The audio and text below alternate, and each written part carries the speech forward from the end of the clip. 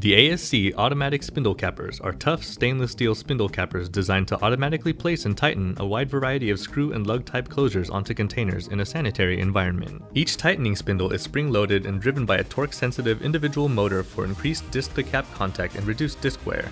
This unique design eliminates the need for transmissions, belts, pulleys, and universal shafts which reduce the size of the machine, lowers maintenance time, and expands the capability and adjustability of the capper. The ASC series can accommodate standard closure sizes ranging from 10mm to 120mm with no additional components. Automatic spindle cappers ship standard with a centrifugal bowl closure orientation system for line speeds up to 120 caps per minute and single gripper belts with tapered container adjustment to accommodate slope containers up to 8.5 inches wide.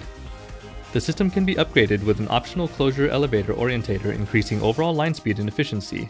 The reverse spindle option helps the capper minimize cross-threading by reversing the cap to evenly seat on the container prior to utilizing the last set of spindles to apply torque.